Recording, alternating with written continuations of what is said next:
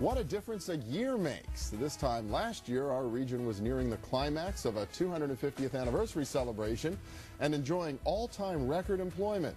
At the same time, the bottom was falling out of the national and global economies. And just as Pittsburgh blew out the candles on its cake, credit markets froze and pundits started talking depression. Through it all, our region has weathered the storm better than most, and now we have the validation of the G20 summit in September. Jim Rohr is back with us today. He's chairman and president of PNC, a sponsor of our region's business and front and center of a lot of the things that have been happening uh, here in the region or, or, and across the country over the past year. So welcome back. Good to see you. Nice to be with you, Bill. Yeah, uh, this has to have been, and you've been a banker and in financial services a long time, but this has to have been one of the wildest 12-month periods of your career. Oh, there's no question about it. I mean, we had the we had the subprime crisis, which you know, started a year and a half ago, and we thought we were working our way through that. And the economy just kept deteriorating in a way that I don't think anyone could have, uh, or no one did forecast. And it's it's become rather problematic. But hopefully we're hopefully we're bottoming out now. I mean, do you have a sense that, that uh, obviously the whole G20 meeting started to come about, uh, the, the, heads of state, in response to what was really perceived to be a crisis? Do you, do you have a sense that we are working our way through that crisis right now and it's a little less acute? Well, I can tell you last fall, especially the weekend when Lehman Brothers failed and a number of other transactions, Merrill Lynch and others, took place over the weekend. Uh, we had a liquidity crisis that I think was probably not understood by the public at large. It was really, really a scary weekend, not for PNC, but for the for the uh, for the financial markets at the time. And I think the government actually, you know, helped us through that to a great extent. We we came through that, and clearly, uh, the markets were frozen totally frozen in the in the fourth quarter last year. You couldn't issue almost any kind of uh, paper, debt, or equity, and uh, that's really bottomed out now. It's come back. The markets have come back to a great extent. You can issue debt. Uh, you can issue common stock, as you've seen. Uh, the second quarter was a big quarter for stock issuance, and uh, and frankly, the the market the the capital markets have returned to not the vibrancy that they had before, and not the silliness that we had in the securitization market when people securitized bad credit. Uh, but frankly, it's come back.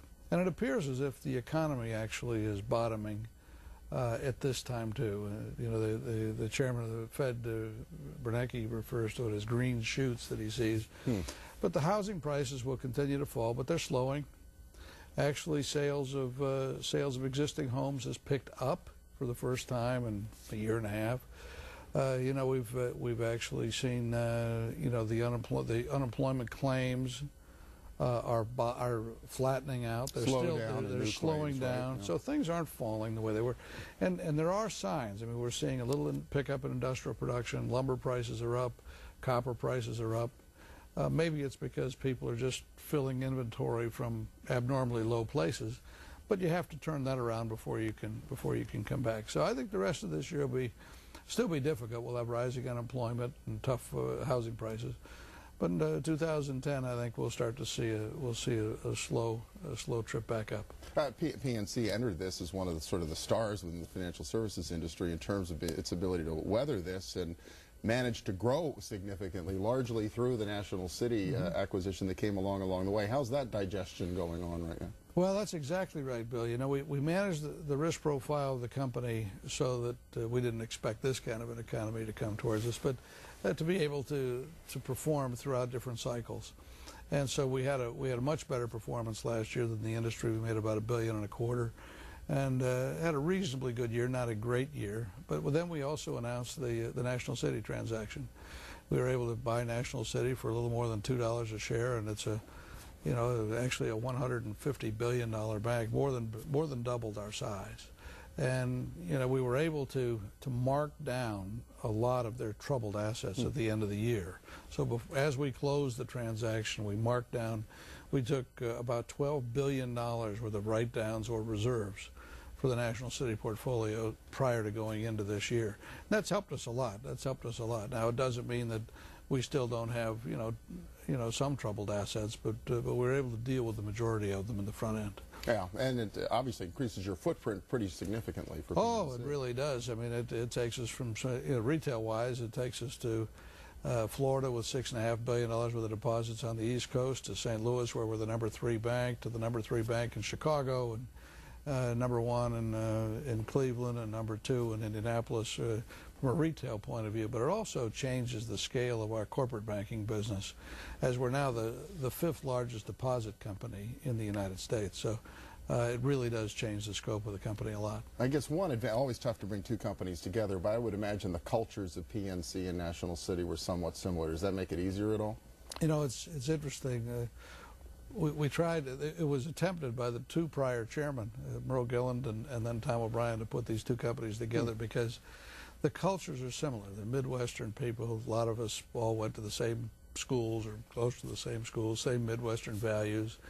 And, uh, and the banks were, were very similar uh, in nature at, at one time. Uh, those transactions didn't, uh, didn't come together, but the, we finally were able to put it together. National City's core business uh, really, really a good business. They had a lot of customers here in Western Pennsylvania, a lot of good customer service in their branches.